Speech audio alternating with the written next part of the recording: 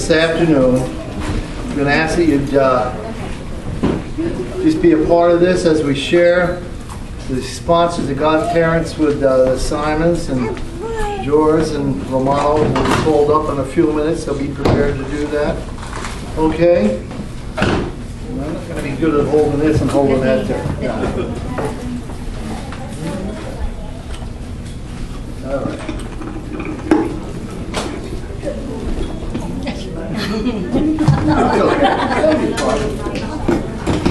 Less chance of me getting hit in the nose this way.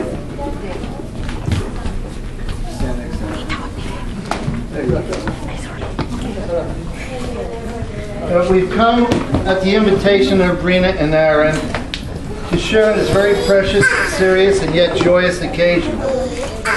Is always a joy when new life comes to bless a home.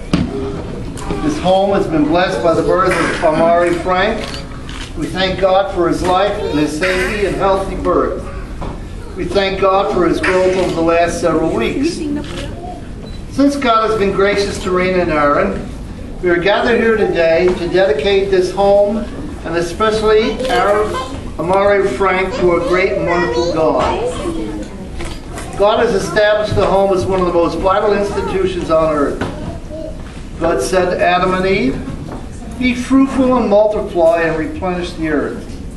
Since that time, God has blessed man and woman with the wonder of birth. The birth of Amare Frank has blessed man and woman a great blessing to their home and others. We can take our rule of faith and practice for this service this afternoon from God's Word, the Bible. We find several accounts in the Bible of children being dedicated to God. In the Old Testament, Samuel was dedicated to God in 1 Samuel 1 20 through 28. In the New Testament, Jesus was dedicated to God in Luke 2 22 and 23. So we come today not only to ask God's special blessings on his life, but also to challenge and encourage Rena and Aaron to be a godly mother and father who will love and care for Amare Frank and to give him every opportunity to live the kind of life that God wants us to live. So in this act of dedication, I ask these questions. Do you, Rena and Aaron, present Amare Frank to God?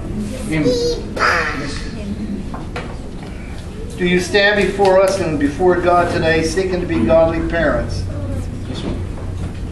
Do you commit before God and these witnesses that you do all that is within your power to maintain a home where Amare Frank will be cared for and loved, and do you commit to rearing this child to love and honor God with all his heart? Yes, we do. With that, I remind you again that God has graciously given you this child. He belongs to you, but in a greater way, he belongs to God. I remind you of the great responsibility that is placed on you because of the birth of this child. God has given you the task of caring for his physical needs of clothing, food, shelter, love, and discipline.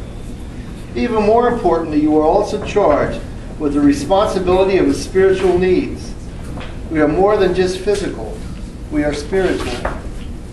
You are charged with this responsibility of saying that your child is in God's house learning about God. Let's teach them to honor, love, and to worship God. You are char- charged with teaching this child God's holy word. You must teach him godly Christian morals and values and how to know God's will for his life by teaching him to love the Bible. Yes, God has given us this home, father, mother, and children. The home was the first institution brought into existence. Now, the church has been given by Christ. These two have been brought together to faithfully train and encourage. Would the godparents please come? The godparents, please. Would you come up here? Oop! Ara, are you okay? Sit down. Sexy Nina. Ang pwede Nina. Would you just stand on each side of Aaron and Rena? Please come.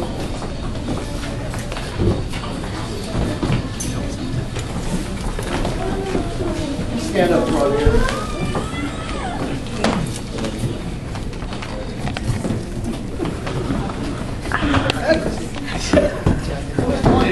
Your room, it's a wide room. We're getting cozy here. We're Getting cozy? Oh, okay.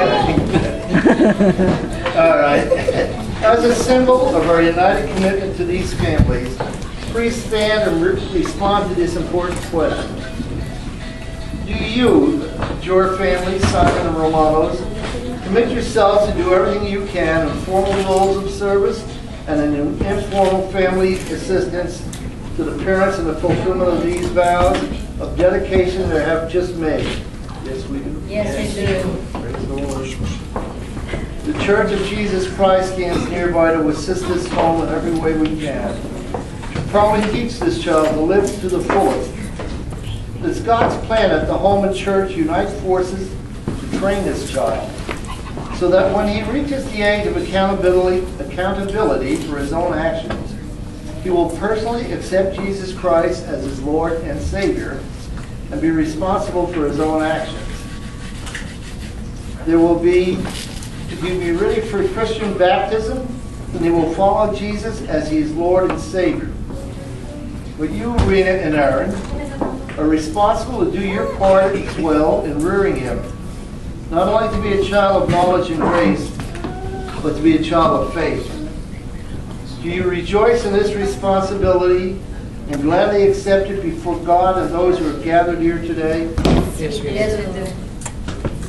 Heavenly Father, for the glorious sight this is today, devoted and blessed parents stand before you with the gifts of infinite value that you've entrusted to their care. We celebrate with them this afternoon and pray that you will fill these moms and dads here with an abundance of wisdom. Enable them to be parents that will make a difference in the lifetime of their sons and daughters. Help them, Father, to stay in tune with your Holy Spirit as you provide them with the internal guidance system that they need for their children. Bless their homes with warmth, provision, and safety. Fill their grandparents and extended families with your love so they will experience kindness, mercy, and hope with regularity. Prepare each of these precious souls for the abundant life that is found in you. As a church, we open ourselves in a fresh way to be used by you to help shape and encourage these families. We pray this in the name of the one who blesses children as no other, Jesus Christ. Amen.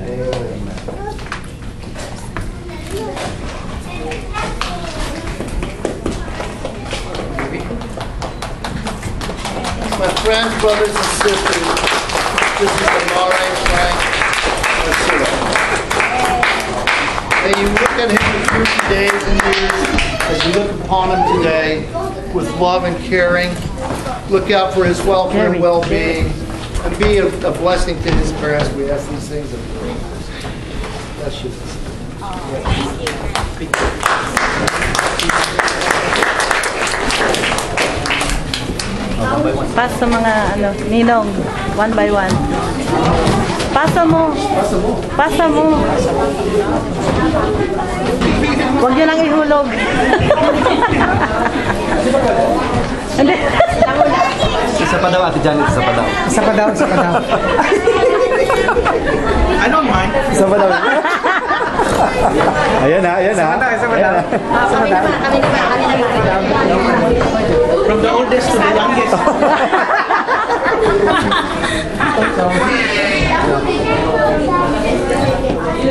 Bagay, bagay. Dapat may anak na sila.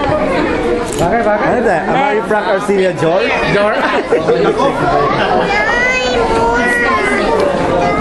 Palagay ka kay kuya.